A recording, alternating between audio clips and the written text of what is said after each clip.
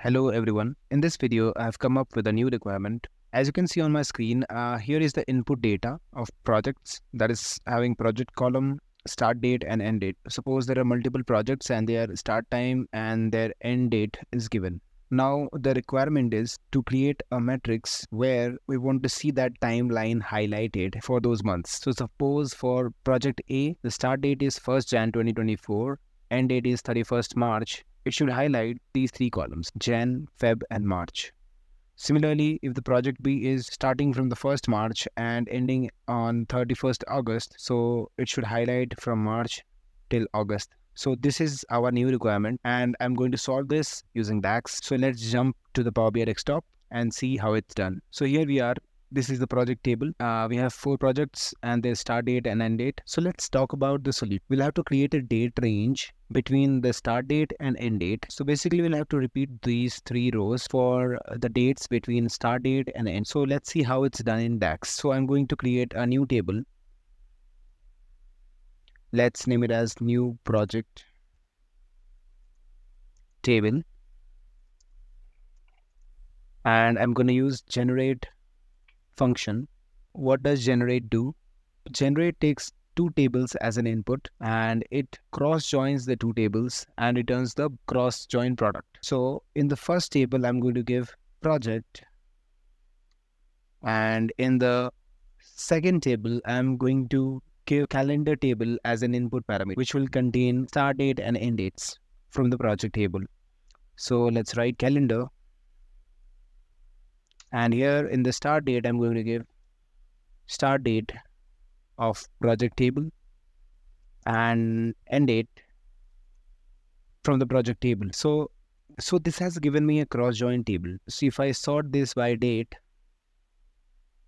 so it has repeated these three rows for the dates between start date and end date. Now what we can do is we can create a new column for month because we'll have to highlight the month values in the matrix. So we are going to create a month column using format date function.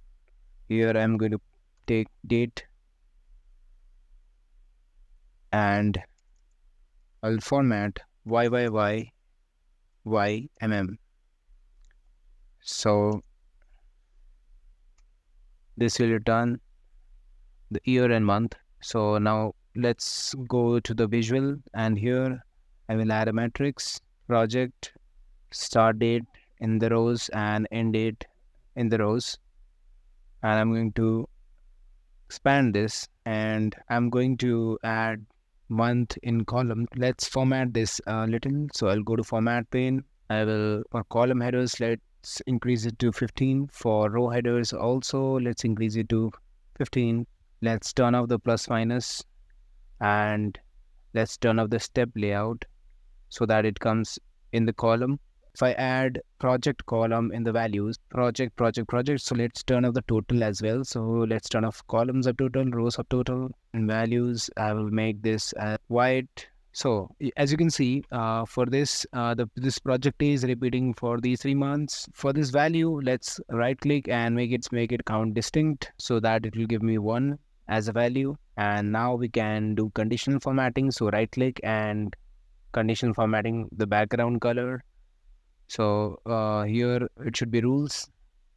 Uh, count of project. Uh, if the count of project is equal to one, and there should be number then I will give a yellow color and click on OK now uh, I will have to hide this one as well. So again I will right click and conditional formatting uh, for the font color. And again I will give the same thing equal to one.